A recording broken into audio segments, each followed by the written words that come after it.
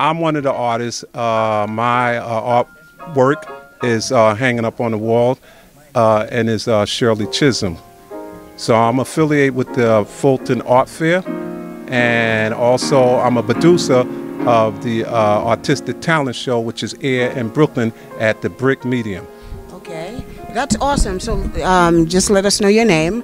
This way um, we're familiar with with not just the look, but also we could take a walk and look through and, and uh, see your piece. Yes, my name is Melvin Isaac, and I'm from Brooklyn, New York. I'm a native of Brooklyn, and I've been drawing and painting and teaching kids uh, basically about 30 years. So, you know, this is what I do. And what's your uh, media? My medium is uh, oil. Oil. Yes, yes, That's yes, awesome. yes. And is it strictly oil or, or is it diverse? No, it's diverse. Uh, basically, uh, I do pastel, I do pencil, I do uh, acrylic, I do stippling, stippling, and uh, basically I do it all. Do it all. Yes, yes. Well, that is awesome. It was great meeting you, and uh, we look forward to seeing more of your work. Well, I know Shirley Chisholm, Congresswoman Shirley Chisholm, mm-hmm. has Brooklyn roots, and she was the first Caribbean American woman to run for U.S. presidency, and she was definitely left a legacy in my hometown of Brooklyn. And I didn't learn much about her until much later in life, which I think it's time that we start learning about her and all of the important things that she did as a legislator and for women and for people in general, and mostly for children, because I know she was a big advocate for children. So, and I'm looking at this work by Melvin Isaac, and it really speaks to who she is and who she was. Right, which is me, the camera guy.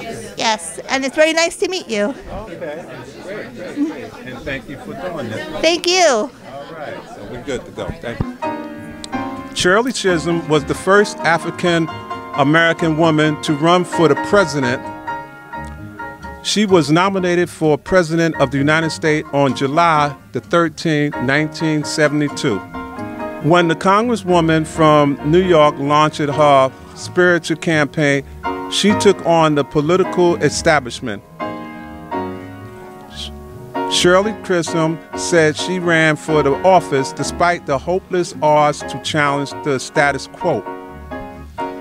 In her announcement speech, Shirley says, I am not candidate of black American, although I am black and proud. I am not the candidate of the woman movement of the country, although I am a woman and I am proud. My presence before you now symbolizes a new era in American political history. Chisholm lost the Democratic nomination to Senator George McGovern of South Dakota. Shirley Anita St. Hills Chisholm was political figure who was decaded ahead of her time. As a woman and a person of color, she has a long list of firsts to her credit, including first African American woman elected to Congress in 1968, first African American woman to seek a major party, nominated for President of the United States 1972 first woman to have her name placed in nomination for president at the Democratic National Convention. First African American to be on the ballot on as a candidate for president.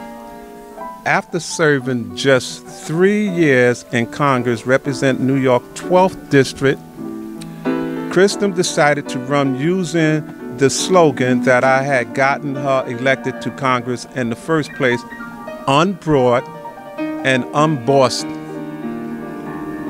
From the Bedford Stuyvesant section of Brooklyn, New York, Chisholm initially pursued a professional career in child care and early childhood education. Switching to politics, she served four years in New York State Assembly before she made a name for herself as the first black woman to be elected to Congress.